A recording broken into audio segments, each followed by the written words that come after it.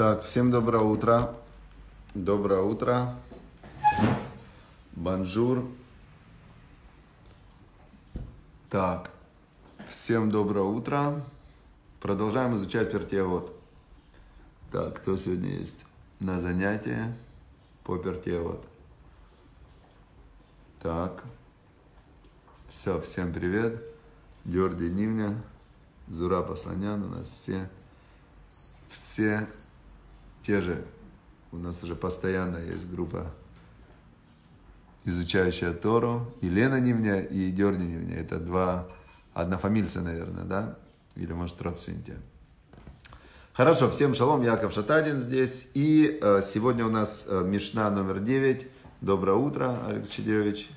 Значит, сегодня у нас Мишна, э, которая продолжает. Вообще, в принципе, первая глава, она обращена к людям, которые там судьи, принимают решения. Но как бы мы все, может, комиссару привет, мы все в какой-то мере судьи, и мы все принимаем решения.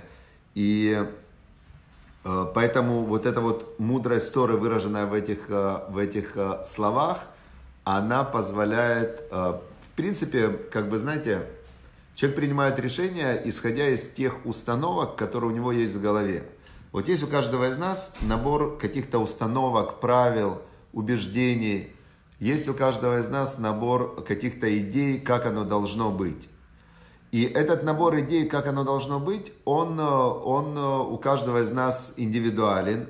И он взялся, откуда взялся этот набор идей, как оно должно быть. Да, он взялся ну, из дома, из детства, из книг, от окружающих. То есть у человека как бы даже когда он принимает решение или так, или так оно должно быть, то оба варианта или так, или так он уже где-то взял. То есть человек не создает сам ничего нового.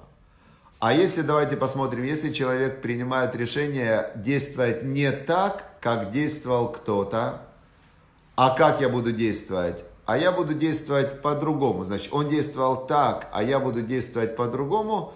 Все равно получается, что материалом для решения является то, что человек принял со стороны. То есть получается, у, у человека в принципе нет, нет ничего своего, кроме способности принимать решения, из каких вариантов выбирать. О. Теперь поэтому слова Торы, которые, э, которые пришли к нам от Бога, Создателя мира, вот эта мудрость Торы, слова Торы и так далее, то это все дает материал в голове для принятия решений. То есть дальше ты э, живешь в потоке, происходит какое-то событие, и ты в, этом, в этот момент ты принимаешь решение, как среагировать. У тебя включается какая-то какая идея. Вот сегодня мы будем э, изучать идеи Шиман бен Шатах. Шимон бен Шатах, он жил где-то около 2200 лет назад, и он был второй мудрец в паре Иуда бен Табай и Шимон бен Шатах, получили Тору от предыдущего поколения, и э, Шимон бен Шатах, он сказал следующие три вещи. Э, он даже сказал две вещи. Давайте посмотрим, что он сказал. Он сказал так. Аве марбе ляхкор это един. А, значит, а, будь а, исследующий свидетелей. То есть исследуй свидетелей, опрашивай свидетелей, выясняй свидетелей. Хакера это как следствие. Авы Марбе Ляхкор это един. То есть и делай исследования свидетелей. В Авы Заир бы дворейха и будь аккуратен в своих словах, Шема метохам ильмедули шакер. Что может быть они из твоих слов э, научатся, как обманывать. Научатся врать. Как это работает? Давайте посмотрим. Ну, вначале давайте идем по-простому. Вот, допустим, э, эту мишну услышал судья.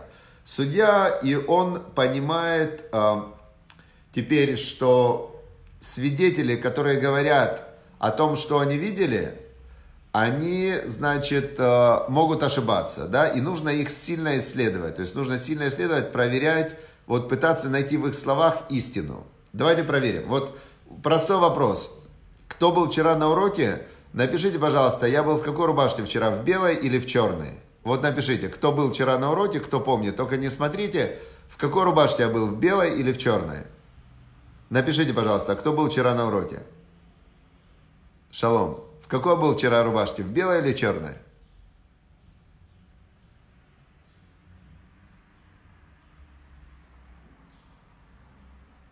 Кто помнит? Есть у нас свидетели? В белой, говорит Антон. В белой, говорит Лена. В белой, говорит Наталья, да? В белой, говорит э, Ангелина Руфи Рудольфовна. И э, все, включая Мошах Камеш Сарука, все ошибаются. Я вчера был не в белой рубашке, я вчера был в серой рубашке. Это рубашка серого цвета, я был в ней же. Она серая. Теперь, но это то, это то, что имел в виду, э, вот видите, вот Вера тоже ошиблась. Это то, что имел в виду э, Шиман бен Шатах. Он говорит, что Авы Марбелях Корыта и Дим, много опрашивая свидетелей, потому что свидетели чаще всего они не помнят, они ошибаются. И будь осторожен в словах, чтобы из них они не научились, как обмануть. То есть я специально задал вопрос, в белой или в черной. Хотя я знал, что я был в серой. Понятно, да? Но когда я задал вопрос в белой или в черной, то вы из моих слов начали думать или в белой, или в черной. И э, большинство ответило в белой, хотя я был в серой. Понятно, да? Это то, что он говорил. Когда ты опрашиваешь свидетелей, первое, что мы видим, что свидетели, они ошибаются. Никто точно не запомнил. И все свидетели, которые, а, которые отвечали, ошиблись, да, потому что я был в серой, а большинство написало в белой.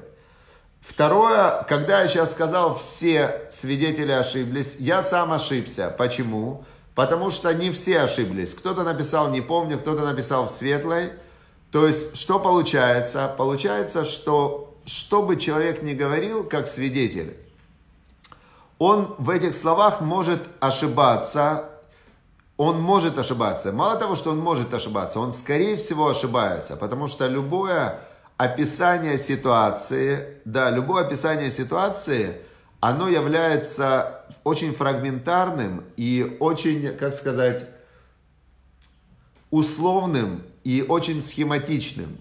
И когда вы об этом знаете, если вы судья, то вы будете исследовать судей, исследовать этих э, подсудимых, не подсудимых, свидетелей – и э, чтобы попытаться найти, попытаться найти вот это вот э, более-менее, более-менее четкую картинку 3D, где их показания будут совпадать. Но что интересно, что если вы вторую часть услышите то, что сказал Шимон бен Шатах, будь осторожен в словах, потому что они из твоих слов научатся как врать. То есть вопрос белое или черное, он побуждает ответить белое. А вопрос, э, вот э, я очень хорошо запомнил, а есть такой Рав э, Бенсон Зильбер, сын Равыцкака Зильбера. И он, когда встречаясь, ну вот раньше, это мы с ним давно очень не виделись, но раньше, когда мы с ним встречались где-то, он задавал вопрос такой, да, при встрече. Что у вас хорошего, нового? То есть он своими словами поворачивал человека на, а, на позитивную волну. Что у вас хорошего в жизни нового человека? Что у меня хорошего? Начинают вспоминать. У меня хорошее новое это, это, это. Оп, следующий вопрос. Ну так, слава Богу, какая у тебя жизнь хорошая. Понятно, да? Или наоборот можно спросить. Скажи, пожалуйста, а что тебе больше всего не понравилось за вчерашний день? Что тебя больше всего разозлило, обидело? Э, что было не так, как ты хочешь за вчерашнее, да? Лена Нивня, вот что у вас вчера, э, какие ваши планы вчера не реализовались? Кто вас вчера подвел? Кто вас э, вчера... Вот смотрите, например, Антон пишет, что рубашка должна быть идеальная. Если человек думает, что рубашка должна быть идеальная, то, скорее всего, у него будет в жизни много разочарований, связанных с рубашками. Потому что понятие идеальная рубашка, оно в принципе очень условно. И когда ты ставишь себе какие-то планки, какие-то правила, какие-то а, ну вот, установки, что должно быть так, то это путь к, к постоянному разочарованию, потому что мир, мир, жизнь, люди, каждый на своей волне, каждый считает, что его волна, она, ну, самая такая основная. И если я буду ожидать, что другие люди будут действовать так, как я, так, как я хочу, то что? То у меня будет много разочарований. Вот, например, Инна Дорфман меня сейчас очень сильно расстроила, да? Почему она меня сильно расстроила? Она меня вообще очень сильно, Инна Дорфман, меня просто обидела, можно даже сказать. Почему? Потому что она написала «Привет из Сочи». А вот у меня, например, я бы сейчас хотел быть в Сочи. Кто, кстати, сейчас хотел бы быть в Сочи? Кто хотел бы быть в Сочи? Кроме меня. А только Ирина в Сочи. Все, только Ирина в Сочи.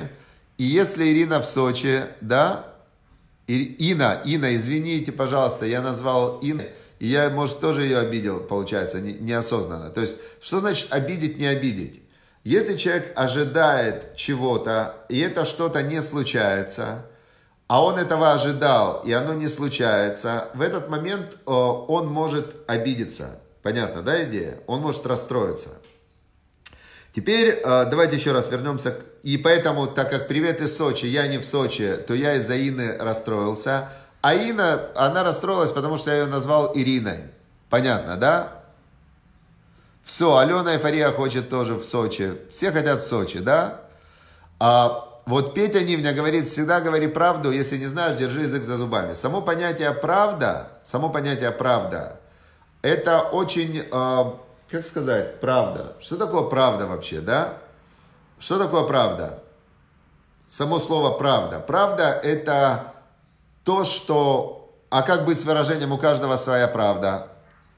Если у каждого своя правда. Два свидетеля объясняют, один говорит э, одно, второй другое. Один говорит, да я говорю правду, второй говорит, я говорю правду. Где правда здесь? Нету правды.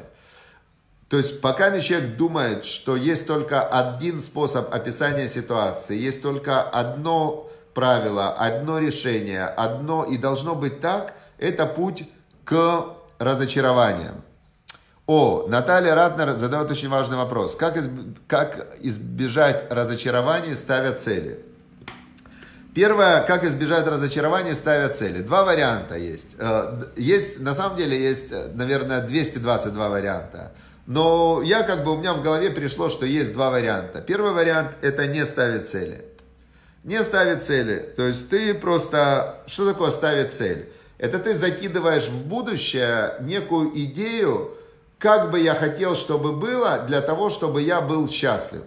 То есть ты как бы делаешь два предположения. Первое предположение, что мне это надо. Второе предположение, что когда я это получу, я буду счастлив. Третье предположение, это вообще, что я это получу, потому что когда ты ставишь цель, ты надеешься ее получить, а может ты ее не получишь. То есть, ставя любую цель, ты заранее подвешиваешь э, свое счастье, как бы, да, на очень э, такие хлюпенькие э, подвесочки, да. А я ставлю цель, я придумал, что я это, я это хочу, я назвал срок, когда я это хочу, я для себя придумал, зачем я ставлю цель? Для того, чтобы быть счастливым. Значит, я себе автоматом сказал, что пока я ее не достигну, я несчастлив. То есть мне же нужно это, а у меня этого нет. Вот э, как бы моментальные последствия постановки цели. Поэтому тот, кто не ставит цели, в принципе, если он от этого не страдает, то ему полегче живется. Да? Он, у него нет цели. Он как бы, ну, все, он, он не закидывает себе никакие там супер-мега, как сказать, в будущее крючки. Значит, у него тогда не будет разочарования. Если у вас нету тети, вам ее не потерять. Знаете, есть такое. А, а если вы не живете, значит вам не умирать. Такая песня была. Смотрите, теперь а, второй путь избежать разочарования. Это осознавать, все-таки ставить цели, но осознавать, что сама постановка цели – и сами все эти предположения, что я буду счастлив, я ее достигну, а, мне помогут, мне не помогут, что все это иллюзия. Тогда ты а, осознанно включаешь эту иллюзию, но ты должен знать, что когда ты включаешь какую-то свою иллюзию в виде цели, в этот момент ты вступаешь в конфликт с другими людьми. Почему? Потому что ты начинаешь двигаться по какой-то своей траектории, а другие люди, которые не ставили себе твою цель, и у них нет цели, чтобы ты достиг свою цель. Они двигаются по своим траекториям. И каждый раз, когда вы будете входить в, в как сказать, в контакт, то будет разочарование, потому что ты ждешь, что они сделают, тебе помогут, тебе надо, то есть ты себе нарисовал свой план, что оно будет так. Люди, они, э, у них свой план, они нарисовали себе другой какой-то план. Теперь, если ты ожидаешь, что ты достигнешь цель, что ты будешь счастлив, что люди будут тебе помогать, что они будут, что весь мир будет крутиться вокруг твоей цели, это, это ошибка. Такого не будет. Поэтому на вопрос, как избежать разочарования в ставя цели, два варианта. Или не ставь, или если ты ставишь, то, то пойми, что это твоя иллюзия, это твое, ну, как бы, твое кино. Если оно идет не по твоему сценарию, ну, то есть, значит так, значит у Бога другой сценарий. Значит, он, то, что происходит, это и есть сценарий Бога. То есть, вот та реальность, которая есть в данный момент, это и есть план Бога. То, то что произошло, это план Бога. То, что ты хотел бы, чтобы произошло, это твой план. Прекрасно, когда они совпадают. Это у нас будет дальше Мишна, что если твой план выполнять план Бога, так тогда вы идете в одной команде, да, то есть если твой план это выполнять заповеди, молиться, э, ну то есть если ты живешь по плану Бога, то, что Бог сказал, надо делать, тогда, тогда получается твой план это план Бога, а план Бога это твой план. То есть ты идешь с Богом в резонансе. Понятно, да? Все, давайте вернемся к Мишне и завершим ее сегодняшний урок. Еще раз, сказал нам э, Шиман бен Шатах, он нам сказал, Авы Марбе лягкор это един.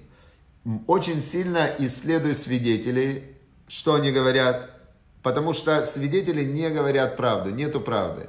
Все свидетели врут, это тоже неправда. Все свидетели ошибаются, неправда. Все свидетели, свидетели разные, разные, да. А, они думают часто, что они... Бывает, что свидетели обманывают, бывают. Бывают осознанно обманывают, бывают. Бывает неосознанно. Так смотрите, что интересно, да? Вот мы же провели сейчас исследования. Мы провели исследования.